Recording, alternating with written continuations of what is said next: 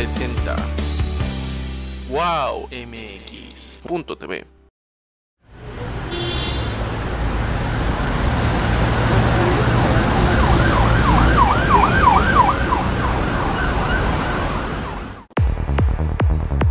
Si yo fuera servidor público. Un programa de análisis, participación e información ciudadana.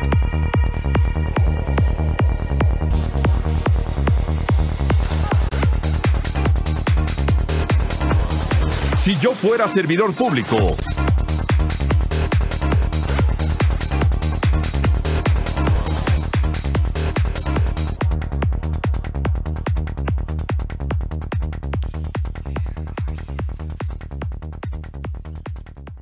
Amigos, es un gusto que nos esté acompañando aquí en Si Yo Fuera Servidor Público a través de la pantalla de WowMX.tv, antes hasta LTV, muy contentos de estar con ustedes. Hoy vamos a tratar un tema importante, un tema de la Ciudad de México, un tema que vamos a retomar, pero desde, desde otra trinchera, desde otra óptica, y me parece que es muy importante que cuando algún ciudadano, algún líder vecinal pida el derecho de réplica, primero saber que aquí en este espacio se los damos con muchísimo gusto, cuando hay argumentos, cuando hay documentos, y me parece que, eh, que, tiene, que, que, tiene muchos elementos que compartir con todo el auditorio. Es el caso de Susana Caraguati, la cual tenemos el gusto de conocer desde hace mucho tiempo, nos ha acompañado en varios programas, distintos temas que hemos abordado, temas vecinales, y la verdad, digo, usted, algún, quienes conocen a Susana Canaguati, en algunos temas pueden estar de acuerdo, algunos no, pero lo cierto es que Susana nos trae siempre documentos, y los documentos hablan por sí mismos, entonces, usted juzgue en este tema que vamos a hablar sobre movilidad, de manera particular, de la zona de Tlacopac, y algunos puntos más que nos quiere compartir, la verdad es que nos da mucho gusto ya tenerla, ya la estamos viendo aquí en pantalla, y le saludamos con muchísimo gusto. Susana, es un gusto saludarte. Miguel, el gusto es mío y no sabes el agradecimiento para este derecho de réplica y para esta eh, invitación tuya, eh, le hice, eh, le pedí el favor a Octavio Colmenares que me acompañe. ¿Por qué? Porque él es vecino de Tlacopac, no me dejará mentir y aquí estará pues, toda la información que te quiero hacer llegar tanto a ti como a todos tus escuchas, ¿no? Que ya tienen muchos años, 10 años en este programa y que ha sido también un medio de comunicación vecinal ah, para llegar de otra forma también cuando no se nos abren algunos espacios, siempre ha sido el tuyo y hemos llegado y hecho muchas cosas contigo. Y mira, encanta platicarte qué pasa con este asunto, con un programa que tú transmitiste el día 12 de febrero. Exacto. Con el señor Carlos Velasco. Y mira, me sorprendió mucho porque la verdad, eh, lo primero fue la cantidad de vecinos que me hablaron, que me hicieron llegar el, el video, yo no lo había visto. Y bueno, pues lo, lo escuché con este con detenimiento, dije, pues necesitamos derecho de réplica, porque pues ahí hay cosas que no son como las presenta. Entonces, pues quisiéramos presentarlos y aclararlos cómo son realmente las cosas. Adelante, Susana. A ver, cuéntanos. Bueno, de entrada, este, esta persona habla que Tlacopac que es el pueblo de Tlacopac, que está registrado, eh, abarca hasta, hasta Altavista, Revolución, Periférico, Las Flores. Bueno, de entrada ahí ya se comió otras dos colonias más, ¿no? Que es este San Angelín y San Ángel. Hay dos estamos que, que son ahí. Uno, de entrada, Tlacopac pertenece a un polígono que es del programa parcial y que es San Ángel, San Angelín y Tlacopac ninguna de las tres colonias, o tres este, entidades, puede hacer algo o mover algo para afectar a los otros. Al contrario, se mueve en unidad para proteger a toda la comunidad. Y bueno, desgraciadamente eh, se han permitido por parte de esta persona del pueblo de Tlacopac que se hayan hecho irregularidades e ilegalidades dentro de la zona que les han afectado mucho. Entonces, Actualmente dentro de los planos que aquí los tenemos, ¿no? este, ¿Cuáles son la, la, parte que corresponde a, a no llega, efectivamente no llega a donde él dice que debe de llegar. Entonces, ¿por qué habla de movilidad en ciertas áreas donde lo único que va a hacer es colapsar más la zona?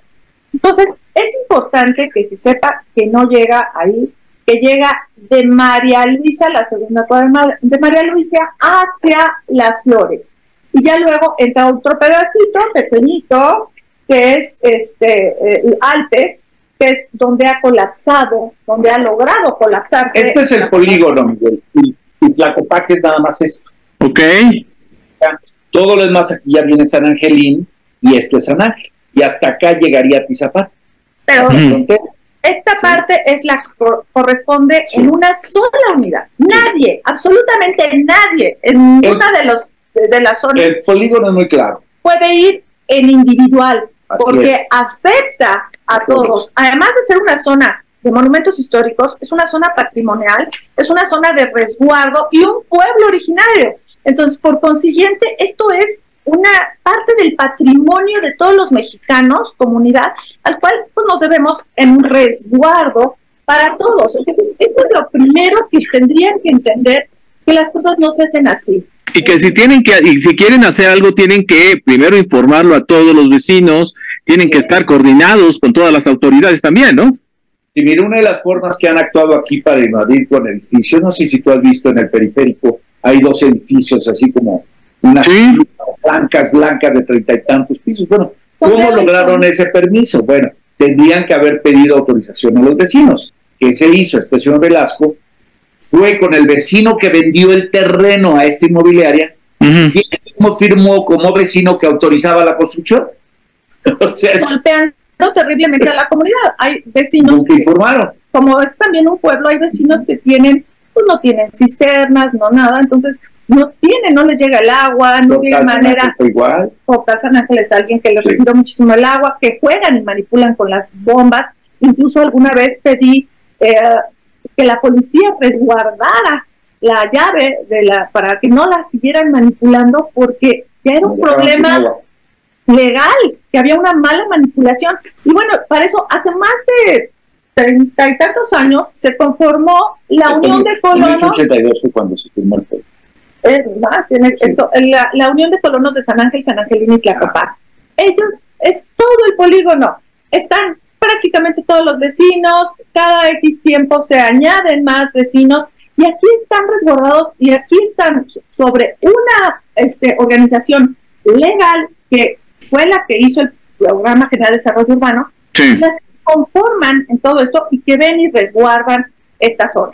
Entonces, pues mira, esta parte es importante porque cualquier cosa que afecte la movilidad o el cambio de sentido o querer cambiar, porque en alguna ocasión me tocó a mí que querían cambiar altavista por vía primaria, muy vivos, porque una vía, cambiar una vía secundaria por una vía primaria les daba una versión de poder hacer mayor altura Ujú. entonces, aunque hubiera un polígono, un programa general este, que, que, lo- que no lo permitiera, pero pues tú viste que durante años la planeación no fue lo más legal posible, ¿no? Tal el caso, que pues por eso estamos viviendo estos casos. Entonces, al final de cuentas, pues hemos hecho y hemos tratado de hacer mil, mil cosas por tratar de resguardar la cosa. Otra cosa que también te quería yo platicar es que eh, aprovechamos el, uno de los recursos que es el presupuesto participativo Sí. Resguardo a la zona. Y ese eh, fue ponerle la nomenclatura correcta a todo el polígono para que no solamente se lo supieran en papel, pues hay vecinos que no tienen por qué saber que viven en, un pueblo, en una zona patrimonial o en una zona de monumentos históricos, mí al principio pues, no tenía ni la menor idea. Entonces, lo que hice fue eh, utilizar el programa de presupuesto participativo al cual los vecinos eh, firmaron de, las zonas y pusimos con una señalética especial que además fue avalada tanto por el INAPO y tanto por eh, para que fuera muy clara, ¿no? Incluimos, por supuesto, porque nuestro hermano Chimalistac está dentro de este polígono, les, les, les añadimos, y entonces estaban todos puestos. Justo se venía el cambio de nomenclatura para toda la, la Ciudad de México porque pasábamos de, eh, de alcaldía, de delegaciones a alcaldías, esto venía este proceso, entonces yo aproveché esta ola para decir, es cuando vamos.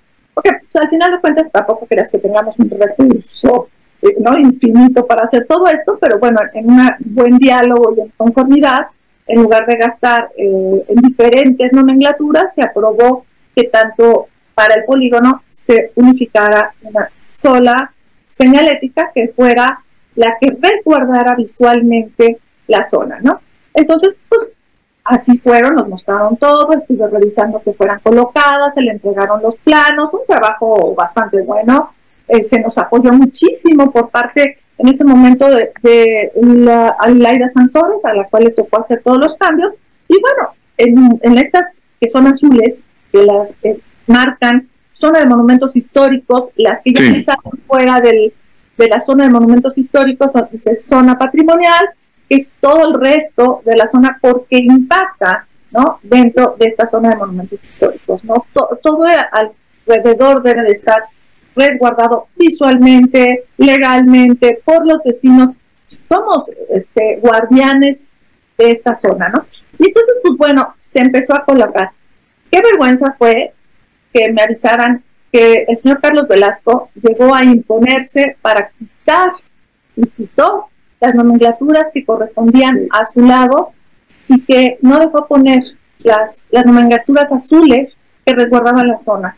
¿Qué mejor manera de que tanto los nuevos que están llegando sepan en dónde viven y sepan que parte de eso ahora a ellos les corresponde integrarse a ese resguardo de comunidad, ser parte de esta comunidad. Y es una manera visual. Pues él porque no le gustó, porque no le convenía, porque mejor no, prohibió ponerlas en su momento, como era parte de, de, comité en su momento, él fue y se negó, teniendo las nomenclaturas hechas, se, hoy por hoy espero que todavía estén ahí algún día algún este vecino pida junto con todos los demás vecinos que las saquen y que las vuelvan a colocar correctamente donde van, porque al final de cuentas es un resguardo más. El, el problema que, que, mencionaba de la movilidad, esos son problemas creados, desgraciadamente son problemas creados. Toda esa cuchillita que hablamos de Alpes sí. se construyó bajo normas de, de ser este, vialidades primarias por la lateral del periférico. A ver, Susana, uh, perdona, eh, perdona que te interrumpa. Déjame ir a la primera pausa. Estamos de regreso aquí en Si Yo Fuera Servidor Público. Regreso.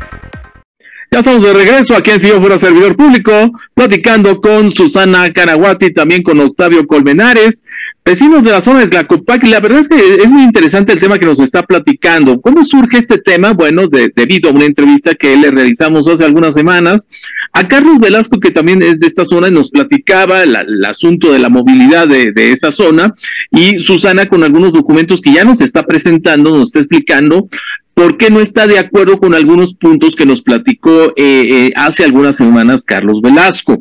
Eh, te interrumpí, Susana, cuando estabas diciendo que Carlos no permitió este, poner algunas cosas ahí en esa zona. A ver, nada más podemos retomar un poquito esa parte para que podamos tener toda la película en este bloque. A ver. Claro, a Carlos no le convenía que se colocaran estas señaléticas. Sí. realmente son un poco rojos, aunque son azules, ¿no? Este, que marcaban pues, de qué se trata y que marcan el, programa parcial, que marcan el, uso y el suelo de, la zona y que al final de cuentas resguardan a toda una comunidad y el bien vivir de esta comunidad, que sí, efectivamente quedó entre avenidas principales como podrían ser Periférico, este, Revolución, incluso Insurgentes, eh, que pues al final de cuentas, este, las flores, y, este... La nomenclatura era muy fácil, identificaba la zona como zona histórica. Okay. Es muy importante eso, ¿por qué? Porque ya de entrada sabes que esta zona tiene un resguardo especial. Nosotros como pueblo hemos ganado un par de juicios contra los edificios que se construyeron, que ya no podemos hacer mucho contra ellos, pero sí para los que quieran ponerse. Tienen que pedirnos permiso como pueblo. No nos vaya a pasar lo del Joco y ya sabes todo lo que ha sucedido. Sí. Entonces, eh, eh, el, el letrero te marcaba qué zona histórica. Y eso a los que están asociados con los desarrolladores, pues no les conviene pagar. Ahí fue y la autoridad, yo no quiero pensar mal, pero cayó en esa trampa. Sí, no, no sé, y la cambiaron. Queremos que regrese. Incluso eh, quise llegar a, a tu este, WhatsApp documentos, tanto de Lina, donde más casi todo, y otro documento por parte de, de Sedubi, porque em, al final de cuentas con esta parte de utilizar la lateral del periférico con una normativa de poder utilizar la altura de una vía primaria, pues habían crecido desmedidamente todos estos edificios, provocando un caos dentro de la urbanización de esta ciudad. Las laterales de los periféricos, nosotros lo podemos, del periférico, nosotros lo podemos ver todos los que manejamos, todos los que van en camión, incluso los que van en bicicleta, no es una vía primaria y tienen que entenderlo claramente. Es una vía secundaria. En la parte primaria es el interior, el que va fluyendo continuamente y que no tiene esos cortes como les pasa el semáforo de las flores, el semáforo de Barranca del Muerto. Y hay lugares donde prefieres morir antes de meterte en ese semáforo. Además, como lo comentó, resultó ser un problema delictivo ya que se usaba para, para atacar gracias al actual secretario de, Seguridad Pública, eh, tenemos una constante vigilancia en esos puntos, en todos esos puntos que se volvieron sumamente conflictivos. Y se volvieron sumamente conflictivos por esos edificios que estuvieron ahí y que redensificaron la zona a lo bruto.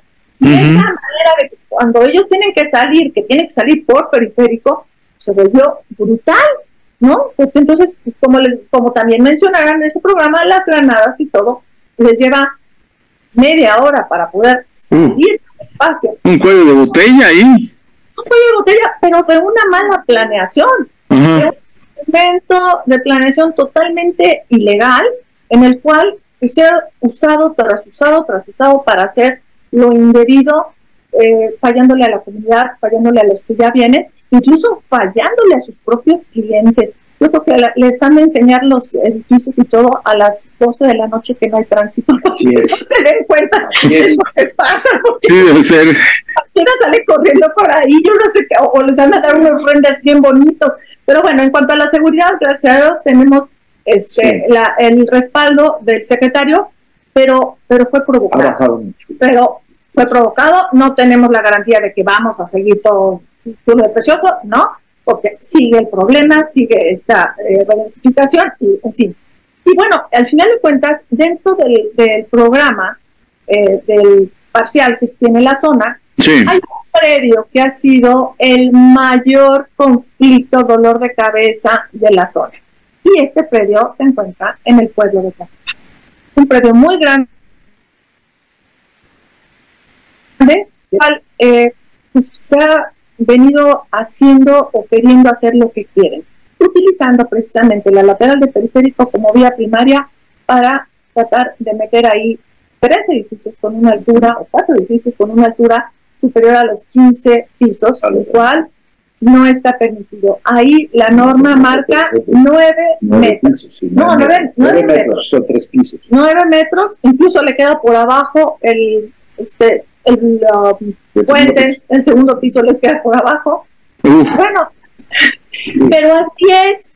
Es un proyecto que aquí no, la verdad mismo nosotros lo vemos, esto es precioso, divino, las casas, las casas prácticamente cumplían una que otra, este, sus medidas eran 50 metros menos, pero ya, ya no nos estábamos así vigilando eso. Ah, el problema eran esos estados edificios. Es un desarrollo mixto, casas con edificios. Y los edificios no cumplían. Los edificios no tenían. Pero no cumplían desde históricamente ese terreno. Mira, la historia de Tlacopac, y yo hablo de eso, este, eh, esta historia, pues si nos ponemos a averiguar, es lo mismo, como te decía yo, que Coyoacán, que el centro, a ese nivel llega la historia de esto.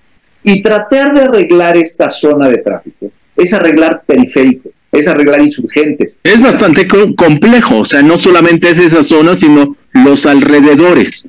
Y caemos en el punto que trata de decir Susana, que este cliente le está declarando. El problema es que este señor quiere resolver el problema local de dos cuadras para que este edificio tenga salida rápida. Pero no cae en la cuenta de que no hay salida rápida periférico. Hoy en día el periférico se ha convertido en un gran estacionamiento porque habría que hacer una ingeniería total de las entradas y salidas de la lateral. Tú cuando sales de una vía rápida como es el periférico a una lateral, tendría que pararse el de la lateral porque no es una vía rápida. Y es que es como todas las vialidades así importantes de esta ciudad, o sea, es decir, al principio fueron extraordinarias, pero crecimos, crecimos y crecimos y se la comió, es como viaducto. Cualquier lugar del mundo en una vía rápida y sales a la lateral, tiene derecho de paso el de la vía rápida. Y el otro que aquí en México no. Quiero que te arriesgues la vida saliendo del periférico sin ver o que te metas al periférico sin pararte, que eso es Entonces, es un problema complejo de ingeniería de toda la ciudad. No vamos a resolver toda la ciudad, pero tampoco queramos resolver tres cuadras porque nos afecta al resto de la colonia. Ojo, y aquí lo que él quiere, lo he visto en las diferentes instancias, de hecho te mandé el documento de ese sí. este, él quiere eh, todo el flujo que viene por la lateral de periférico de sur a norte, meterlo hacia la colonia para empezar a liberar ese flujo que no se condense más adelante, que serían las flores, y entonces seguir adelante con meter eso, sacar por reforma, por reserva León Felipe el flujo que, sería, no, para sacar el, el, flujo de las de este gran fraccionamiento hacia periférico, pueda tener las dos salidas, tanto para, para arriba como para abajo, ya sacó toda la parte de periférico, ya la indujo hacia, adentro de lo que es este San Angelín y lo que es este San Ángel, ya se aventó todo eso sin vistas a los vecinos y a todos los que van a vivir de ese lado con esa inducción de tráfico. Entonces, para poder liberar este gran fraccionamiento precioso, sí, con esos torres ilegales, sí, y que además por ley tendrían que sacar el, flujo de los de las torres de tres niveles, o sea, nueve metros, tendrían que salir obligatorio hacia periférico. No podrían salir al interior de la colonia, del pueblo en este caso. Tendrían que salir hacia periférico, le cierran esa parte, hablan ellos como un premio y un dorito que te regalan haciendo estacionamiento público para la zona precisamente para las, los, los edificios que han sido ya de la lateral, pero que son edificios de oficinas públicas, otorgándoles pues, el favor de hay un estacionamiento público. Es un negocio. ¿eh? Hay un edificio de la, de la, Procuraduría, hay un edificio de cortes civiles, de, juzgados civiles, humanos, hay, hay varios edificios. Y después entras a los, a los edificios altos de vivienda al sanaje, que se ha convertido en una zona mixta muy... Pero regreso a un punto muy importante, Miguel. Mira, tenemos la historia y el fideicomiso original de ese predio, El dueño original lo tuvo como casa y casa de punto a la vez. En aquellos entonces, cuando compró, pues San Ángel era huertas, era zona de campo, la tenía. Y él mismo declaró que esa zona debería de conservarse así. Y ahora a través de la historia han querido los quietos cambiar muy en su derecho porque están sentados en una mina de oro.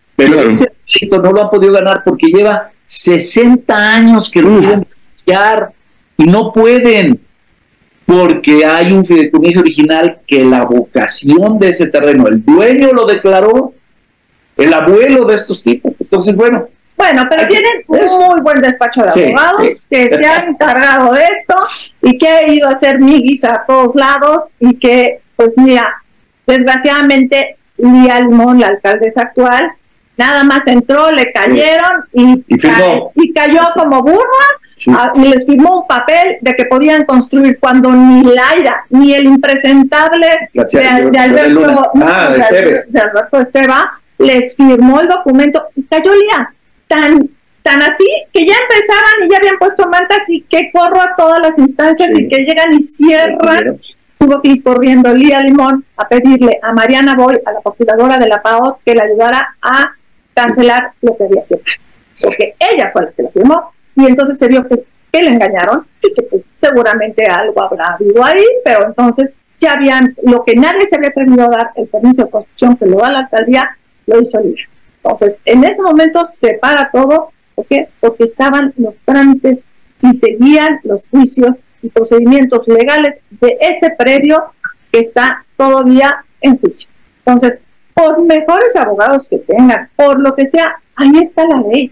Nos hemos defendido y tenemos años viendo y protegiendo que se cumpla la ley. Incluso se volaron drones para ver la, la flora, sí.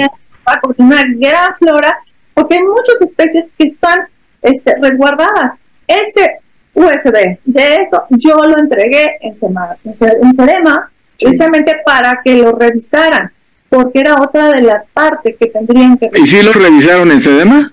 Sí, claro, yo estuve ahí. Iba a todas las instancias, tú lo sabes, Miguel. Que sí, sí, claro. A, donde sea hay que llevar todo, pues lo, lo, vamos y lo llevamos y les vamos mostrando con, con veracidad y con claridad lo que hay, lo que pasa tienen que subsanar cantidad de cosas como para que eso pueda ser o mimetizarse dentro de un proyecto con lo que hay. Eso es lo que sería sustentable en cualquier proyecto como debe ser. Tú vas a ingresar a una comunidad, no puedes llegar a ser depredador. Muy bien. A ver, aguántame, me tengo que ir a la siguiente pausa. Estamos aquí en Si yo fuera servidor público, regreso.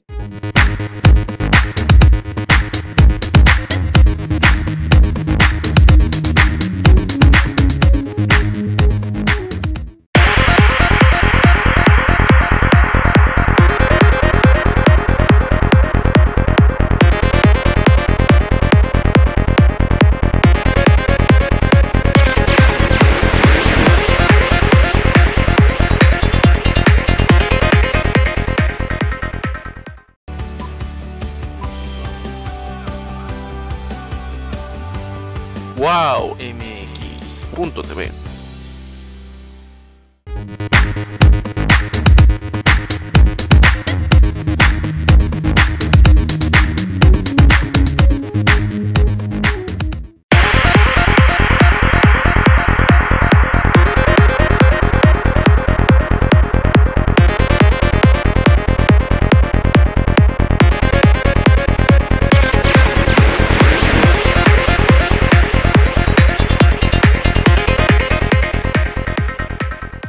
estamos en la tercera parte de Si yo fuera servidor público, platicando con Susana Canaguati y también con Octavio Colmenares acerca, bueno, una situación, la verdad, este, pues que no es nada agradable para los vecinos de esta zona, ya con argumentos, con documentos, ya nos está platicando, nos platica que hay algunos permisos que no tenía que haber firmado la, la actual alcaldesa Lía Limón, sin embargo lo hizo, y ya después pidió ayuda a Mariana Boy, que es la titular de PAUT, y, y, la verdad es que es una situación, como, como bien lo mencionas, es una situación, y eso que, eh, fíjate que el, a mí, de las primeras reflexiones que saco de este programa es que imagínense, de un pedacito, de un pedacito tan chiquito de la, comparando con el gran monstruo que es la Ciudad de México, hay grandes problemas. Bueno, ya nos podemos imaginar a nivel Ciudad de México eh, cuántas broncas hay de este, de este tipo. Pero la diferencia es, ah, eh, la diferencia y la solución es cuando hay vecinos organizados. Creo que eso sí es importante mencionarlo. Cuando hay vecinos organizados, creo que se pueden solucionar las cosas. ¿Puede tardar? Sí, sí, por supuesto que puede tardar porque no son problemas, o sea, son problemas grandes, pero me parece que lo que hacen los vecinos eh, sí hay que reconocerlo y mencionarlo en el caso con como ustedes que lo están, como lo están platicando, Susana.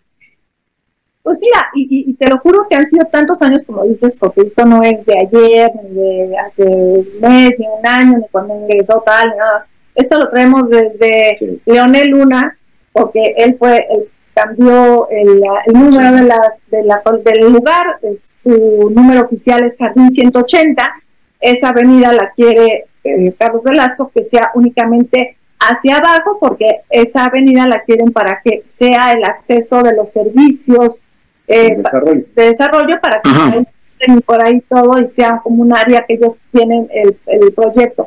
¿no? Entonces, todo tiene un porqué y me da mucha risa porque cuando yo se los platicaba a los funcionarios de las diferentes instancias, me dice, esto es por esto, esto es por esto, esto es por esto.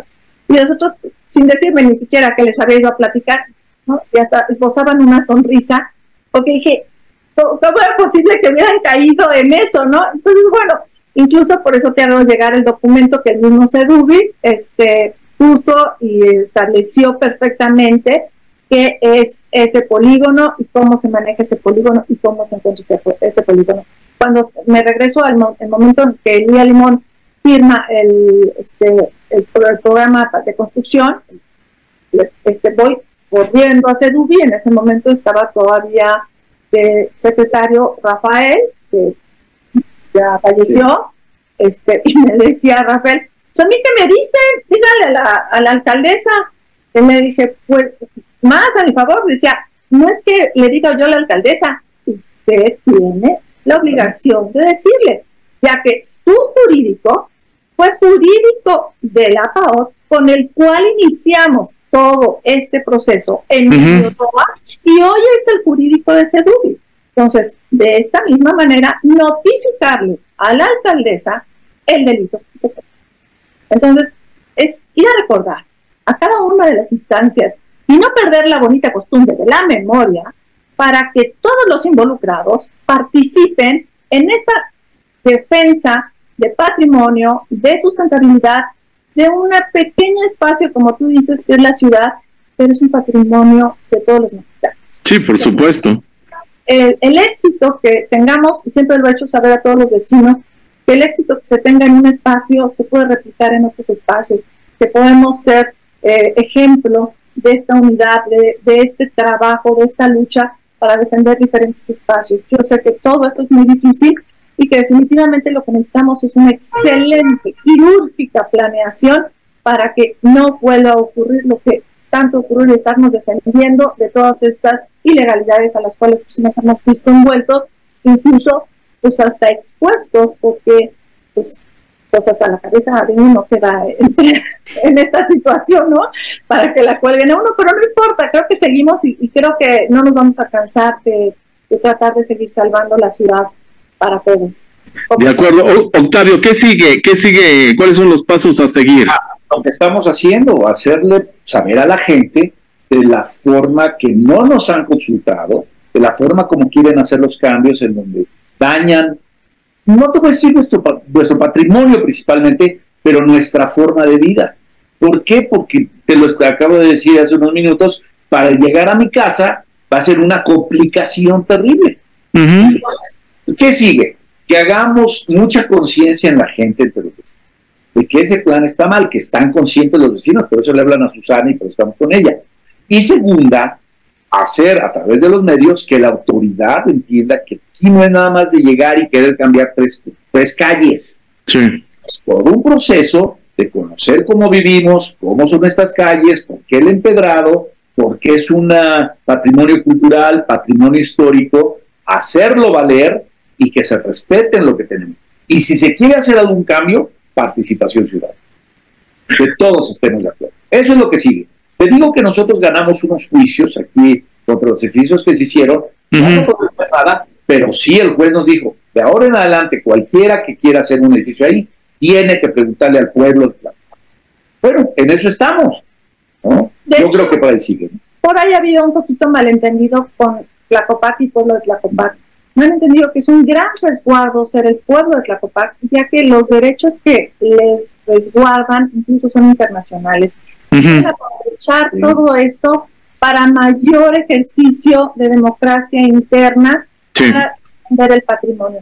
Entonces, de alguna manera, pues, Por eso también insistimos, los, los sellos que llegaron y se pusieron inmediatamente después de, de haber puesto mal el certificado de construcción, los sellos decían pueblo de Tlacopac. Le gusta que le gusta los sellos decían pueblo, de Tlacopac. Un detalle curioso para que todos sepan, esas eh, um, jarillas, esas flores que, están dentro del logo eh, del Álvaro Obregón, son, se le llaman jarillas, jarillas. que son las flores originarias del río que, pasaba por aquí, que crecían alrededor, al junto al río, se llaman jarillas. Son flores que hoy, por ejemplo, no sé por qué las convirtieron a margaritas, no, no son margaritas, son jarillas y es una flor típica del pueblo de Tlacopac que le da identidad al, a toda la este, Álvaro Obregón. Mira, como zona agrícola, un poco de historia, la zona agrícola aquí en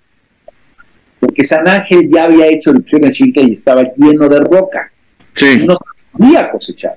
Sin embargo, en Tlacopac las tierras todavía eran muy buenas porque atravesaba el río San Ángel. Altavista está en una altura que domina el valle del, de Tlacopac y en medio estaba el río. Ahora el río ya se urbanizó, ya no tiene sentido. Pero, ¿a qué bueno? Que aquí, ¿por qué nos llamamos Tlacopac? Y las calles, si tú llegas, se llaman jazmín, margaritas, las flores, este, etcétera, porque se plantaban esas flores como medio de polinización de todo el alimento que salía de ahí. Eran tierras agrícolas, bañadas por los ríos y las vertientes que bajaban de los cerros de alrededor. Ahora ya nada de eso existe, pero las calles se quedaron como los lugares donde pasaban entre huerto y huerto.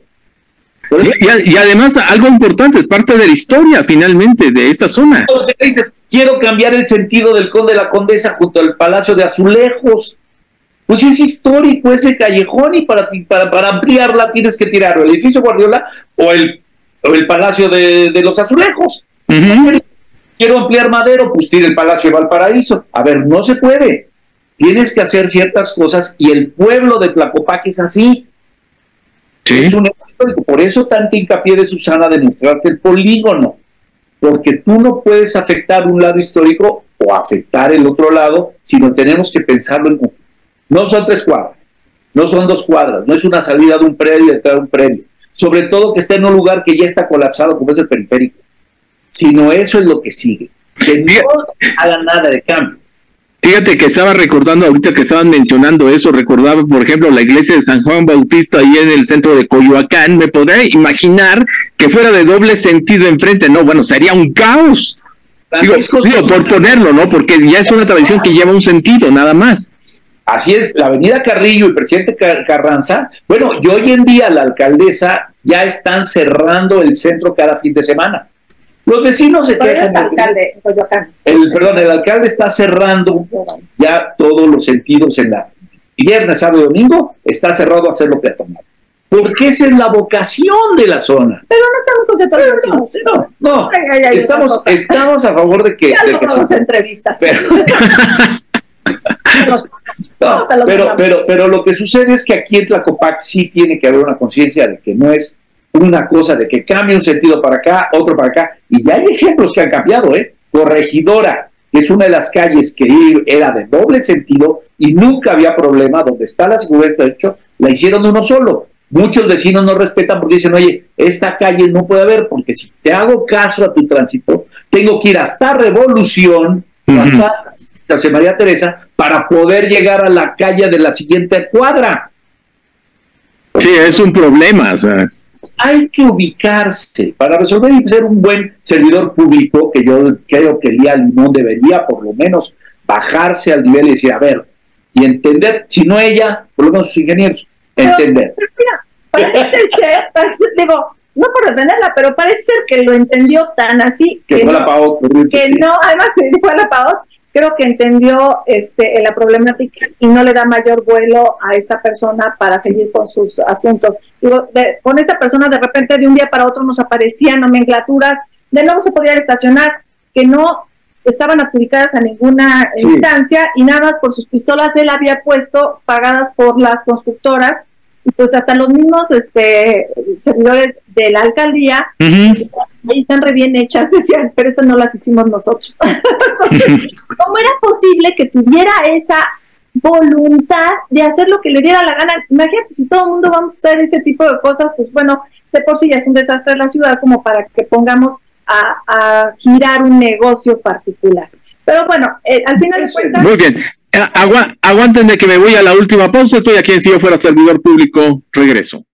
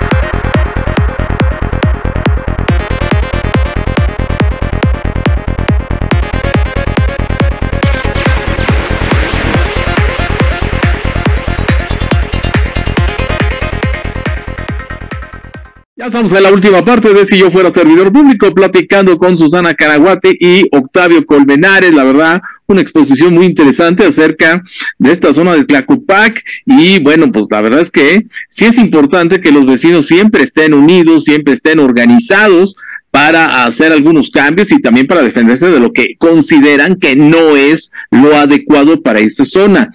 A ver, yo me, me, gustaría en este último bloque, además de que si tienen algo más que agregar en este tema que ha sido muy interesante en estos minutos, a ver, me gustaría saber algo, sobre todo porque parece mentira, pero a pesar de que es, una, es un asunto que tendría que ser vecinal 100%, eh, en época electoral siempre se meten los políticos de todos los partidos, para bien y para mal, porque no, no vamos a decir que todos hacen mal, no, eh, tampoco. Pero estamos de acuerdo que es, eh, estamos en una época, este año y el siguiente, bueno, que todos los políticos, y sobre todo los que tienen más posibilidades, les van a bajar las estrellas, la, la, luna y las estrellas, van a estar con ustedes y los van a apoyar y les van a dar palmaditas en la espalda y van a hablar de pestes de la autoridad en turno y, y al revés, o sea, así, así siempre pasa. Pero bueno, están, con, con toda la experiencia que tienen ustedes, eh, saben perfectamente bien que ese es el modus operandi del político aquí en México.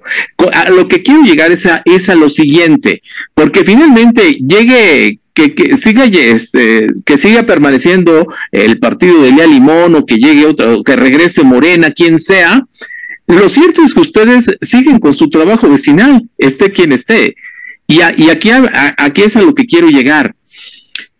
¿Cómo le hacen para que, eh, como dirían los chavos, no les donen la píldora o no les hablen bonito al oído y no les hagan caso de ciertas cosas? Porque los políticos a veces son fabulosos, no hablan precioso, pero para la hora de cumplir, pues, ¿qué les cuento? Digo, tú, Susana, lo sabes muy bien. O sea, ¿cuántos políticos de todos los partidos has escuchado? Fíjate, Miguel, que tenemos una colonia con gente muy madura en ese sentido de problemas. Hay de todo tipo de partido, hay de todo tipo de los se enojan. Tenemos una Susana que se enfrenta a estos cuates cuando no hacen las cosas. Este, que va al Congreso, por ejemplo. Déjame citarlo, Miguel. De repente, lo que tú dices, ¿no? Le doran la píldora cuando están. Y ya que entran, bueno, se vuelve opositora, pero radical, ¿no? Y vemos su trabajo. Pero, pero lo importante es que el pueblo ya esté entendiendo lo que es que el político no nada más se vaya con discurso, sino que nos firme realmente las cosas que va a hacer. Exacto. Porque ya se implantó la revocación de mandato. Ojalá y cuando te dice a Coyoacán, a ver cómo le está yendo, quieren hacer una revocación de mandato ahí en Coyoacán. Bueno, eso ya se, debemos de empezar como ciudadanos, de verdad hacerlo. Y, oye, tú te comprometiste a esto y estás fallando, queremos una ya no es tan fácil que un alcalde llegue e invente cualquier cosa. Lo siguen haciendo, ¿no? Y echarle tierra al pasado. Ya no va a ser tan fácil. Entonces, yo creo que la ciudadanía está adquiriendo madurez en todo sentido y podemos reclamar. Y si no, pues existen esas instancias. Y pedirles a los, a Claro, sí, sí. que firmen convenios, compromisos reales. Eso es lo que queremos. Y mira, voy a regresar este, primero a proyectos de movilidad de la zona. Se presentó un proyecto eh, de movilidad que es el, una extensión del circuito bicentenario donde eh, se amplía a esta parte de revolución, donde la idea es quitar esa cantidad de camiones y rutas y todo que van creando un gran problema y hacer un eh, rediseño para que verdaderamente fluya tanto patriotismo como revolución y llegue incluso hasta CU. Bueno, ese es un buen ejemplo. Incluso con eh, este tranvías eléctricos o con equipos eléctricos, precisamente para dar mayor movilidad y entre mayor agilidad, pues entonces la gente que utiliza estas avenidas pues no tenga que estar buscando las salidas o los recovecos, estarse metiendo dentro de las colonias, sino que estas mismas avenidas primarias les puedan dar ese uso correcto y ordenado. Y entonces, incluso lo platicamos, lo platicamos con Andrés, y yo le dije, Andrés, este es un trabajo muy duro, este, eh, habría que platicarlo con cada uno de los segmentos de las colonias a las cuales va de alguna forma a trastocar, para que ellos lo conozcan, lo publiciten, lo, comenten con los vecinos y veamos. ¿Cómo sentiste, Andrés? ¿Con buena voluntad de escuchar por lo menos? Mucho. El, problema aquí es que se nos vino una pandemia, se vino una crisis económica muy grande, entonces este, ahorita todo eso está detenido, pero el proyecto existe y esperemos que en su momento es una de las maneras que le vamos a poder dar movilidad. También tenemos un paradero que es el paradero La Palma, a la cual pues, se redistribuye parte de las rutas. Esas rutas van a tener que, y ese paradero tiene que seguir ahí, porque al final de cuentas de ahí sube a las diferentes áreas, de, tanto de la Copa, Coyoacán y demás, de las diferentes zonas que les toca para redistribuir esas cadenas de movilidad y entonces se les está dando un ordenamiento que ha sido muy difícil, sí, ¿por qué? Porque tú sabes perfectamente que todo eso se corrompió hasta lo más íntimo, que son gente que trae unos negocios brutales, que han sido, pero yo creo que con valor, con carácter y con no quitar el dedo del renglón, vamos a poder llegar a tener una ciudad sustentable en la parte de movilidad y ordenada siempre y cuando todos participemos. Esa parte nos ayuda a todos a realmente tener la movilidad con la que se pretextó el anterior programa y vamos a poder tener orden tanto legal como en la parte de movilidad y en la parte también de urbanización. Y luego ahí pues ya vendrían los siguientes proyectos que tendríamos que platicar, qué falló con el Programa General de Desarrollo Urbano, que, que para haber tenido la gran oportunidad no y fallaron. Tenían el balón y se les cayó. Entonces, otro tema que tendremos que platicarlo más adelante. Esto que acaba de comentarte, Susana, es un muy buen ejemplo. La Avenida Revolución, que viene desde el Borrego Viudo, donde está el viaducto. Sí, sí, sí. Viene, se va llenando. El primer conflicto es San Antonio. Es un problema muy serio, a pesar de que hay un segundo piso.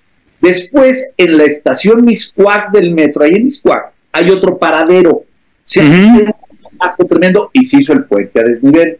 Se resolvió localmente a medias. Es un embudo. Se sigue, es un embudo. Se sigue y el siguiente paradero que tiene un problema es Barranca del Mar. Y es un relajo, ahí es un conflicto y se hace por Se sigue y es el que dice de La Palma, que está enfrente al mercado de San Ángel.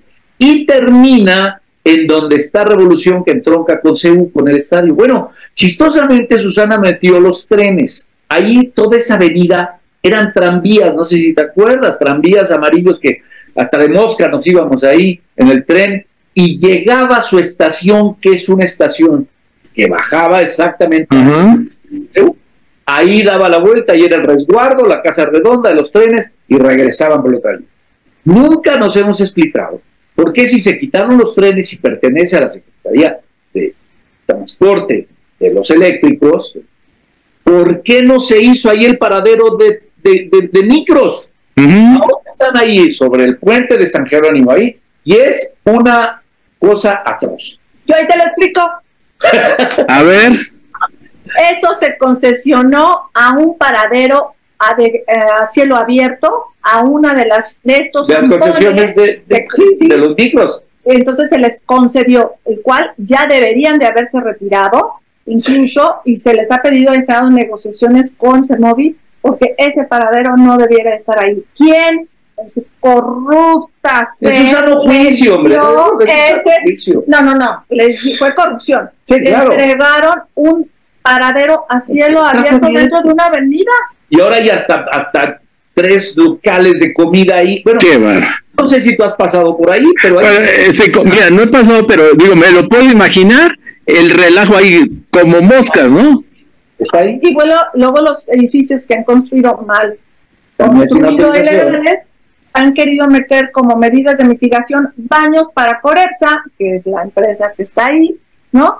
Para darle todavía más sustentabilidad a un lugar que no tiene que estar ahí, no tiene por qué haber baños.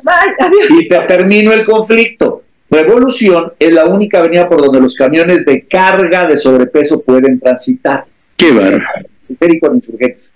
Y llegan hasta la calle que conecta, que era, doctor no, es este, eh, la chiquita que cruza entre insurgentes, revolución insurgentes, una bajadita. Ah, ahí, donde baja. antes de ah, Magdalena. Ahí baja y los camiones de doble trailer, ahí dan la vuelta para el Madre mía. Entonces sí es un conflicto. Se pueden resolver localmente los problemas, resolviendo lo, el que dice Susana de Paradera. El, el circuito Esas cosas, ya lo tienen, lo tienen esas muy cosas, bien estudiado, pero, pero ese es un problema que puede resolverlo local. Resuelves un paradero, resuelves el otro, resuelves el otro. Pero una zona como Tlacopac, Felipe y la realidad de Tlacopac, no la puedes, porque todo está interconectado en un cuadro de, de 200 metros por 200 metros. Somos una comunidad orgánica que construyen varias colonias y pueblos. Sí, me gustaría nada más que rápidamente una conclusión cada uno de ustedes, por favor, Susana. Pues nada, que realmente lo que es el polígono que conforma el pueblo de Tlacopac, San Ángel y San Angelín, es una unidad orgánica de una gran comunidad que se defiende y que la defendemos los vecinos. Y que para ello eh, nos apegamos a derecho. Siempre es con esta acción de derecho y no de negocio. Aquí nadie hace negocio con el patrimonio de nadie. El asunto es que la comunidad conviva con lo que ya nos tocó vivir.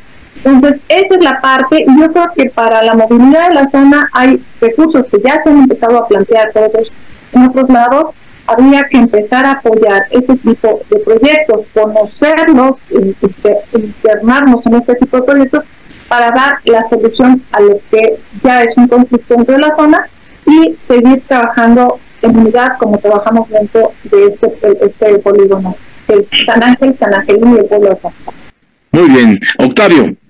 Mira, eh, lo que te comentaba hace algunos minutos. Primero, los ciudadanos de esta zona, de este pueblo original, están muy comprometidos con el pueblo y están dispuestos a ver, analizar y proponer soluciones, las que se puedan. No aceptamos que nos vengan a imponer una solución que fue hecha en escritorio con una gente nada más buscando intereses personales. Nosotros estamos dispuestos a participar, queremos participar y que la mejor solución salga a la luz. Y si no hay una solución correcta, no cambiemos nada por ello. No la cambiemos. Estamos bien, que respetemos nuestra zona histórica y sigamos trabajando conjuntamente. Nada más. como dijo Susana, respetemos las leyes y las autorizaciones de lo que se puede hacer. Muy bien, les agradezco mucho su participación aquí en el programa y saben que tienen las puertas abiertas. Susana, tú lo sabes perfectamente bien, tienen las puertas abiertas y esperemos escucharlos próximamente eh, para ampliar este tema o para platicar otros temas que por supuesto hay muchos en la mesa, Susana, que, que comentar. La planeación de esta ciudad que nos surge. Bueno, vamos a platicar, ¿eh? ya después nos ponemos de acuerdo en otra fecha, Susana. Muchísimas gracias, Miguel. Gracias, saludos Miguel. a todos, saludos a los vecinos. Muchísimas gracias a todos nuestros amigos que nos han escuchado a través de Si yo fuera servidor público. Quédese en la programación de la televisora. Nos vemos. Wow. M